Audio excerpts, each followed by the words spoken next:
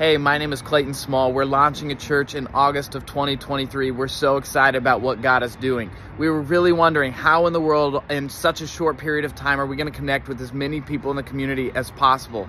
That's when we signed up with Church Candy.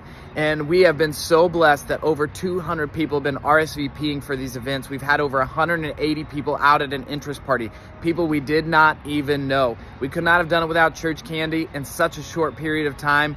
Uh, we were able to connect and text with some very uh, great leads and people who are very interested.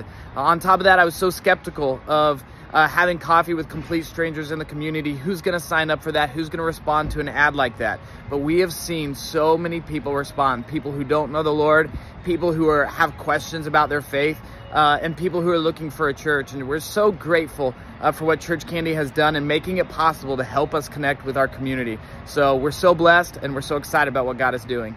Thanks, Church Candy.